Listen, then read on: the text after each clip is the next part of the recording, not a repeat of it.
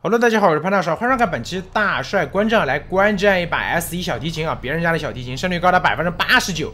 先知机械前锋冒险家佣兵被搬掉了，那应该他是习惯性搬佣兵的。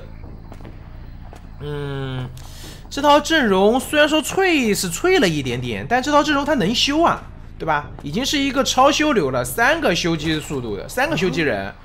外加一个前锋，对吧？如果说前期牵制的好，前锋一波撞就是，当然前提是牵制的好。你要想牵制这个小提琴呢，有点难啊。牵制小提琴呢也有点难。哎，这边这个口子后来改了一个板啊，因为我们在那那个共研服测试的时候是就就是一个口，那现在是改了一块板子，那也不错吧？这块板子对于两边来说都能接受啊，折中。嗯，打娃一刀，好的，结石的位置暴露，但对于结石来讲也行吧，距离拉的比较开的，他可以这边放一个娃，然后人再拉走。嗯，尽量就是马拉松了，因为想牵制小提琴，我觉得是牵制不动的。这边结石还比较舒服的，就是把一个娃放在了那个呃电机旁边啊。来弦，哎，这根弦出问题了，这根弦超出范围了。本来这根弦感觉大概率是能拉中的，那这边是等弦结束，然后一根弦再封，拉拉拉，哎哎哎，这这一波感觉这弦的手感还没到位，届时这边凭借着自己比较漂亮的一个走位还扭掉了。嗯，弦这个东西呢，固然对吧？求者是通过走位扭掉的，但是呢，也有一定的原因是取决于这边小丁家的一个判断啊，就是两边要看两边的。就这把的话，感觉就是这一个机械师他的一个走位刚好是吃到你这个拉弦的一个习惯的。比如说你是对吧，人往左一偏，然后他往右的；有的人往左一偏，他是往前的，那你这根弦就没拉中，因为你判断他是往右的。抓的话还是得抓机械师，前面的牵制时间已经很久了。对于这把来讲的话，机械师功不可没，因为机械师他的几波操作非常到位。第一个就是娃娃，你打我娃娃，娃娃有反应，拉了一波，对吧？虽然说没有能够拉成功，但是我这边距离是拉开的，然后我把我的娃娃放在了就近的密码机，那我娃娃都不用哎哎这边这个音符吃到了，他会不会看到这边看到可能也来不及管了。这把的话对于小丁家来讲，也是一个要保平的一个局。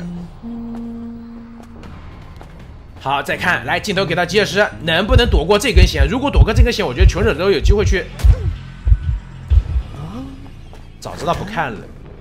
他前面躲了这么多弦，我觉得他的一个风格刚好是吃到了这边小丁家的，对吧？他能够预判到小兵，算了，不说了。请把顺发打在不对，请把美杜莎打在公屏上。呃，那这样的话，密码机的一个进度其实也够啊，其实也够。我们可以看一下这边的密码机，密码机因为冒险家百分之五十的输液娃子能点掉，然后这边这中间这一台鸟笼的，哎，卡半九也行，也行，也行，卡半九好像更好一点。前锋这边去补鸟笼的密码机，这边闲闲闲闲闲拉中。嗯，但这样的话要救人的话，得冒险家啊，冒险家是用自己的输液补掉了，补掉了鸟笼的密码机，然后先知这边修的是全场最后一台。机械师娃娃这台应该是不出问题，能点掉。那么前锋最后来来一波撞救，漂亮！也不是撞救，来一波撞。这波撞撞完以后，机械师来镜头给到机械师，机械师只要能躲过一根弦，他就有机会。无穷洞一开，没有补到，只要躲过一根弦就够了啊！只要躲过一根弦就够了。这样的话，前锋来救，外面两个人修。